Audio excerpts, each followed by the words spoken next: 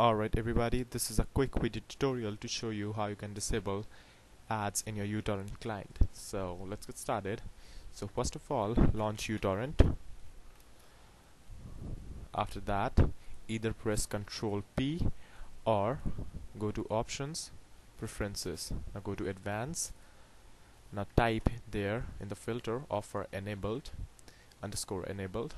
Double click on both the values then again type the pulse double click on the first one upsell double click on the first one and auto E double click on the first one. Now hit OK. Now exit from uTorrent.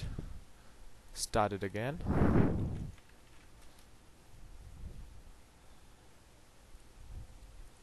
Uh, I guess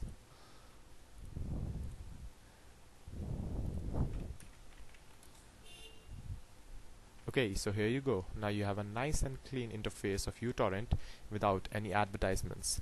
So let me know if that worked for you.